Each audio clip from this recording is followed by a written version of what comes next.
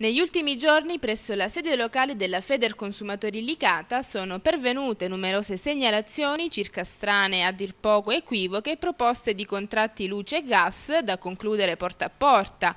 Pertanto è doveroso invitare la cittadinanza a tenere gli occhi ben aperti. A parlare è Angelo Pisano, il responsabile della sede locale di Feder Consumatori. Nello specifico giovani ben vestiti e dai volti all'apparenza rassicuranti si aggirano per le vie licatesi con un solo intento, ovvero quello di sottoporre vantaggiosi contratti a prescindere se ciò corrisponda al vero oppure no. Quello che più ci indigna, dice Angelo Pisano, sono le modalità di vendita, in quanto gli agenti arrivano a convincere persone anziane, riferendo loro, dopo aver letto i cognomi presenti nei citofoni, che anche i vicini avevano sottoscritto tali contratti.